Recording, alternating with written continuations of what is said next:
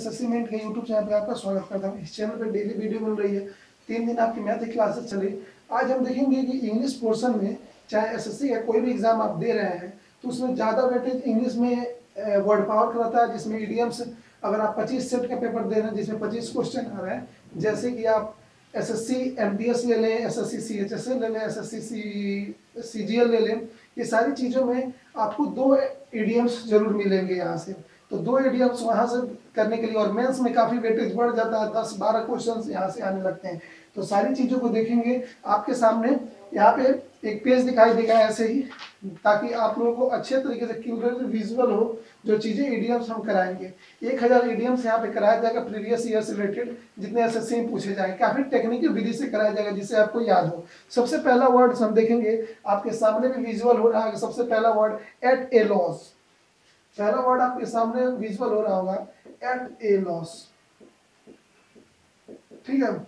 इसको समझेंगे पहले। ऐसे आप वर्ड पावर में काफ़ी लोगों की शिकायत होती है कि याद कैसे करें। तो जब जो वर्ड पावर यहाँ पढ़ाया जाएगा, काफ़ी टेक्निकल पढ़ाया जाएगा, ताकि आपको याद हो जाए। आज बीस वो वो इडियम्स है, वो आप इन दस मिनट की क्लास में, बारह मिनट की क्लास में आप इजिली समझ पाएँगे। जैसे देखें एट लॉस मतलब क्या होता है? Loss L O W S यहाँ पे यूज़ किया गया। लॉस मतलब क्या है? आप हानि में है। ठीक है? लॉस है, हानि है आपकी, आप आप परेशान हो जाएँगे। मान लीजिए कि आप कोई बिज़नेस कर रहे हैं, कोई भी काम कर रहे हैं, उसमें आपको लॉस हो जाए। लॉस हो जाए यानी क्या आप हानि में हो जाएँगे। जैसे ही आप लॉस में आएँगे, क्या आपको चिड़चिड़ा फील होगा, उलझन में हो जाएँगे, उलझन की स्थिति आ जाएगी। तो होता है एट ए लॉस मतलब उलझन की स्थिति में होना। है तो हमने लिखा है वहाँ पे आपको विजुअल हो रहा है टू बी पजल्ड क्या लिखा गया है? To be puzzled to be puzzled दूसरा वर्ड आपके सामने वहाँ पे लिखा गया है at daggers drawn at daggers drawn ठीक है? इसको काफ़ी टेक्निकल विधि से समझेंगे क्या क्या चीज़ें हैं एट ड्रैगर्स ड्राउन मतलब। यहाँ पे देखेंगे, यहाँ पे डी दिया गया है, दो डबल डी है। डी मतलब यहाँ समझेंगे डेंजर ठीक है?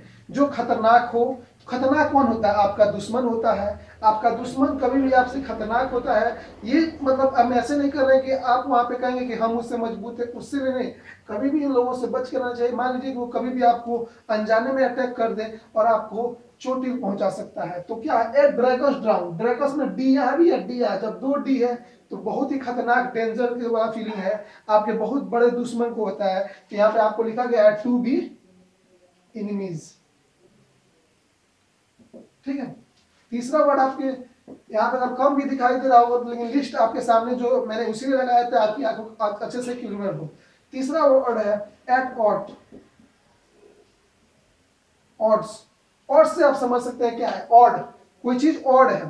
ठीक है? देखते हैं कहते हैं कि यार, ये ये आदमी बहुत ऑड है। ऑड है। यानी क्या है? उस आदमी से, आपकी पर्टिकुलर आदमी से आपकी समझ से नहीं बैठ पा रही है। यानी उसके विचार आपके विचारों से नहीं बैठ पा रहे हैं, आपकी सहमति, उसकी सहमति मैच नहीं खा रही है। तो यानी एड्स क्या है? वो आपके विचारों में क्या है? वो विरुद्ध है। यानी जो आपका विचार है, उससे वो अलग विचार का है, दूसरे विचार का आदमी है। तो एड ऑड मतलब होता है विचारों में विरुद्ध। हमने लिखा है, यानी मतलब आपके सहमत, उसकी सहमत अलग है। तो इसका जो हमने लिखा in disagreement in disagreement आपके सामने भी विजुअल हो रहा होगा। चौथा वर्ड आपके सामने हम डिस्कस कर रहे हैं। चौथा वर्ड है at arm's length at arm's length at arm's length मतलब क्या होगा क्या होता है? एट आर्म्स लेंथ मतलब होता है अपने से दूर रखने के हेतु परहेज करना। मैंने जैसे कोई चीज़ है, मैंने भोजपुरी में बोलते हैं तनी दूर रहा, ठीक है? तनी फ़र्क ही रहा। जैसे कभी कभी किसी में लड़ाई होता है तो क्या होता है? कि तनी दूर रहो। मतलब कुछ लोग ऐसे भी होते हैं जैसे यार उनसे दूरी थोड़ा बना के रखो। यानी उनसे दूरी बनाने का मतलब है उनसे आप मित्रत्व मित्रत्व ना रखो। यानी उनसे फ्रेंड ना बनाओ उनको। यानी उनसे अपनों से दूर रखो। एट आर्म्स लेंथ यानी उनको दूर ही रखो। आर्म्स लेंथ ऐसे मान सकते हैं कि भुजा हो गया आर्म्स आर्म्स इतना दूर रखो। यानी उस व्यक्ति को, किसी व्यक्ति के बारे में कहा जाता है कि थोड़ा दूरी रहो। ये नहीं कहा जाए, इसका ये सेंस नहीं हुआ कि ये थोड़ा पास मत है सोशल डिस्टेंसिंग वाली फीलिंग मत दीजिएगा। एट आर्म्स लेंथ मतलब होता नहीं पता कि उस व्यक्ति से थोड़ा दूरी रहना, ठीक है, उससे अपना मित्र ना, न बनाना मित्रवत व्यवहार न करना तो इसका एट आर्म्स लेंथ मतलब क्या होगा? Not allowing someone not allow someone to be friendly with you यहाँ पे लिखा गया है आपके सामने not allow someone to be friendly with you अगला है ओल्ड एन ओल्ड फ्लेम पांचवा वर्ड है, काफ़ी अच्छे समझेंगे. An old flame and old flame old मतलब होता है पुराना फ्लेम फ्लेम मतलब ऐसे समझेंगे तो आग हो जाएगा. लेकिन यहाँ पे क्या एंड ओल्ड फ्लेम मतलब होता है पुराना प्यार. ठीक है? जैसे अगर ये क्वेश्चन आजकल के जमाने में अगर डिस्क्रिप्टिव पेपर में आ जाए कि एंड ओन फ्लेम का मतलब बताइए तो लड़के डायरेक्ट एक ही वर्ड लिखेंगे एक्स समझ रहे हैं? यानी पुराना प्यार। तो एक्स लिख देते हैं, आजकल नए ट्रेंडिंग वर्ड है एक्स लेकिन यहाँ पे समझेंगे क्या चीज़ें हैं। एंड ओल्ड फ्लेम फ्लेम मतलब एक अगर मीनिंग जाना चाहे तो फ्लेम मतलब होता है आग लगा देना। ओल्ड फ्लेम उसके विचार जो है, जो उनकी बातें हैं, जो आपकी पुराना प्यार है, उसके बातें, उसकी यादें, आपको क्या है आपके दिमाग को, आपके दिल को आग लगा दे रही है, एकदम झकझोर दे रही है, ठीक है? तो एक एक व्यक्ति है, एक औरत है, चाहे एक लड़के, कोई भी है, एक पर्सन हम यूज़ करेंगे। एक पर्सन है, आप यूज़ करेंगे। एक person who had a romantic relationship in the past यानी एक पर्सन जो है, आपसे क्या था? रोमांटिक रिलेशनशिप में था पास्ट में, यानी पहले था। तो अब डायरेक्ट उसको हम एक शॉर्ट भाषा में एक्स बोल सकते हैं। तो प्यार का मौसम भी आ रहा है। इंजॉय कीजिए सात तारीख से शुरू हो रहा है, कल से। ठीक है? उसके बाद अगला वर्ड है आपके सामने एक्वेंटेड विथ स्पेलिंग आपके सामने दिख रहा होगा, अगर नहीं सही से विजुअल होता है बोल रहे A C Q U A I N T E D acquainted with मतलब क्या होता है? समझेंगे? ऐसे ही वो कैब आपको कराई जाएगी इस चैनल पे, ताकि आपको अच्छे से वो कैब तैयार हो। ठीक है।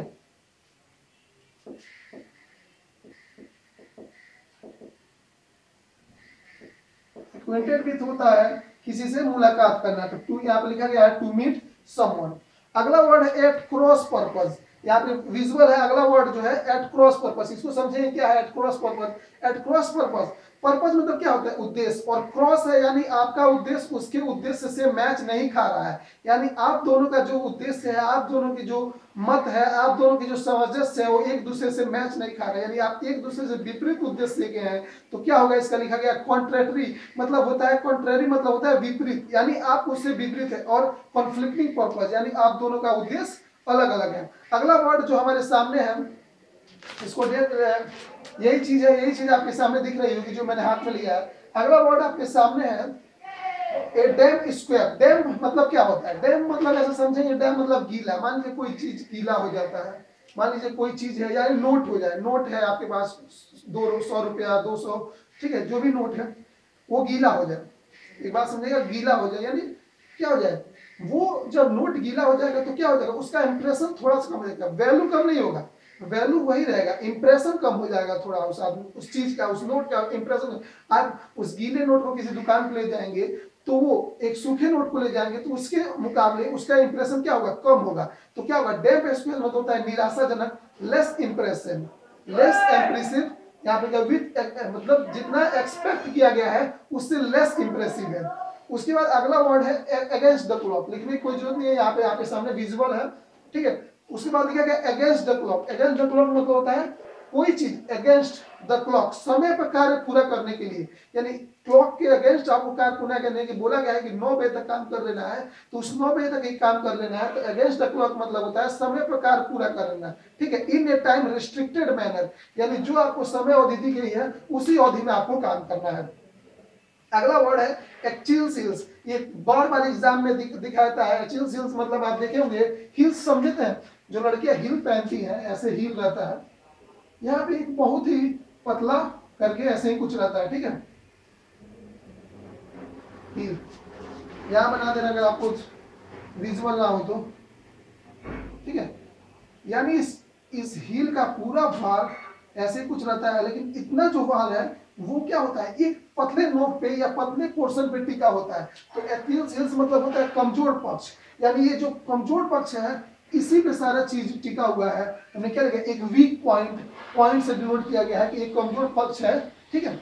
उसके बाद अगला है as duck take to water as duck take to water मतलब होता है डक्स मतलब क्या होता है? बत्तख। बत्तख पैर पानी में आसानी से चल लेते हैं, पी लेते हैं, ये सारी चीज़ें होती हैं। बत्तख पानी के लिए कुछ नहीं, ये बहुत आसान काम है उसके लिए। तो क्या हमने लिखा है? इसके लिए इजिली एंड नेचुरली का यूज़ किया है। यानी वो आसान है वो प्राकृतिक है, वो चीज़ें वो कर लेती है। अगला वर्ड है एसिड टेस्ट एसिड मतलब सब जानते हैं? अगर एसिड आपके शरीर में फेंक दिया जाता है, तुरंत आप बौखला जाएँगे, लाल लाल हो जाएँगे पूरी तरह से। तो एसिड टेस्ट मतलब होता है कठिन परिश्रम ले सकता है, कठिन परीक्षा तो एसिड टेस्ट के लिए हमने यूज़ किया है सर्व एंड टेस्ट या हार्ड टेस्ट भी आप लिख सकते हैं। ठीक है? अगला वर्ड है एड फ्यूल टू फायर सभी लोग जानते हैं, गाँव देहात के लड़के भी और एड फ्यूल टू फायर अगर हिंदी में इसकी बात करें तो आग में घी डालना। ठीक है? कोई मैटर है, उसको और बुरा बनाना है। यानी कोई चीज़ अगर सही से चल रहा है तो कुछ लोग ऐसे होते हैं बीच में घुटने वाले, जो सही चीज़ को भी क्या कर देते हैं? और बुरा बनाए जैसे गाँव में क्या होता है कि मान लीजिए कि कोई दोस्त, किसी दोस्त को एक अनजान में एक सरल भाषा में कोई गाली दे दे तो क्या होता है, एक दूसरा दोस्त क्या करेगा? वो कहेगा, अरे, तुमको गाली दे दिया, ये गाली दे दिया, वो गाली दे दिया। तो क्या होता है, उन दोनों में क्या होगी लड़ाई हो जाएगी। उस गाली का अर्थ निकालने लगता है। जैसे क्या होता है, आग में घी डालने का काम हो जाएगा। तो ये मतलब आग में घी डालना, उसका मतलब होता है कोई मैटर को और बुरा बनाना। तो हमने यूज़ किया है टू इंक्रीज एंगर यानी गुस्सा को और बढ़ा देना। उसके बाद है at at the drop of hat यानी आपके मतलब कोई आप आदमी टोपी पहना हुआ है, इसको एक चटकर मारिए। जो टोपी के ऊपर ऐसे अगर आप हाथ को मारेंगे तो क्या होगा? टोपी तड़ाक दे नीचे गिर जाएगा। तो वो क्रिया बहुत जल्दी होता है। जैसे मान लीजिए आप खड़े हैं, कोई आके आपको एक चटा मार दे, आप टोपी लगाए हो तड़ाक दे, टोपी गिर जाएगा। तो इसके लिए क्या हो जाएगा?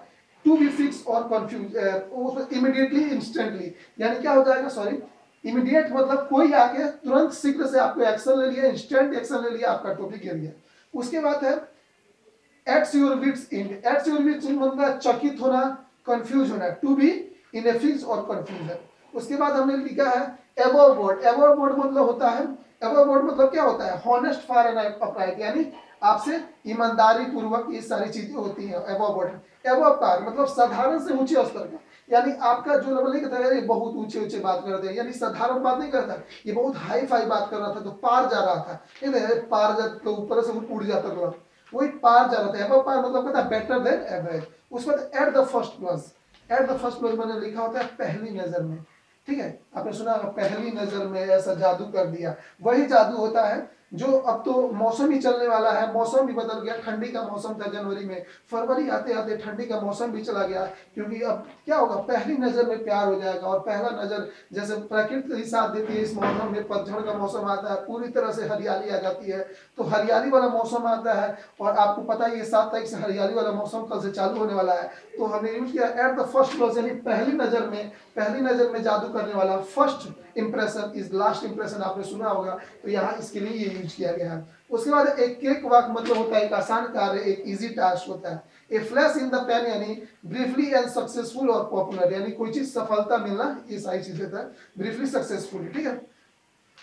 यहाँ आपने देखा क्या क्या चीज़ें थी। एक एक चीज़ को डिस्क्राइब करके बताया गया, ताकि आपको इजीली समझ में आए। इस वीडियो को दो बार देखिएगा, अगर समझ में नहीं आ रहा है तो ऐसे ही हम कोशिश करेंगे कि अगली क्लास में ईडियम्स लेकर आया तो पहले ईडियम्स कराएँगे वन वर्ड कराएँगे, सारी चीज़ें इंपॉर्टेंट कराएँगे और आप एग्ज़ाम में हिंट करेंगे डायरेक्ट ये एग्ज़ाम्पल डायरेक्ट आप एग्ज़ाम में मैच करेंगे। आपको भी अच्छा लगेगा कि हाँ हमने पढ़ के काफ़ी अच्छा किया। तो इस चैनल को ज़्यादा सब्सक्राइब करें, अपने दोस्तों के साथ शेयर करें। इस चैनल पे आपको डेली वीडियो मिल रही है, कुछ ना कुछ वीडियो ज़रूर मिलेंगी इंपॉर्टेंस और साथ ही साथ जॉब अपडेट भी आपको मिल रहा है। तो इस वीडियो को ज़्यादा सब्सक्राइब करें। Thank you